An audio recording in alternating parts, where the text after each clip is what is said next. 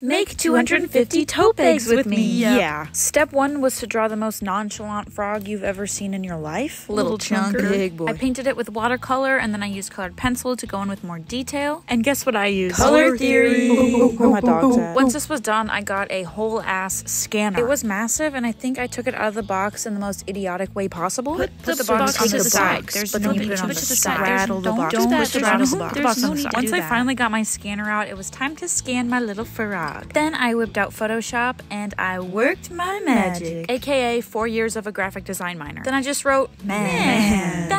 I found a manufacturer and ordered 250. Heaviest, Heaviest box, box on, earth. earth. Look at all my little babies in there. I actually could not be more happy with how these turned out. I think I almost shed a tear. Yeah. Girl, Girl boss. boss. Girl boss. Girl oh boss. Girl boss. Oh my okay. god. Oh my god. If you would like to get one, these are up on my shop in my bio. And of course, every one of these comes with a surprise mini dinosaur because duh. Duh. duh.